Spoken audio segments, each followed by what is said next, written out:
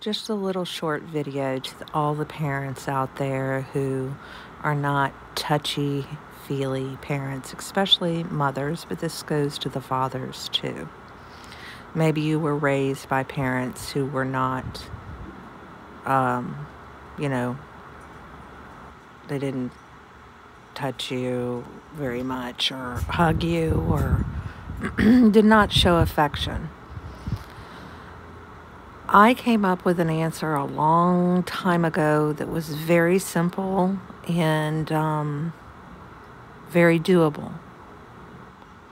Every night, I put my kids to bed and we said our prayers and I hugged them and laughed with them, but I made sure I touched them and hugged them and showed affection every night, no matter what was going on during the day, no matter any of it. It was a nightly re- routine. Make sure you do that every day. Strive to do more, but that one thing makes a huge difference. It helps you, and it definitely helps them. Bye for now.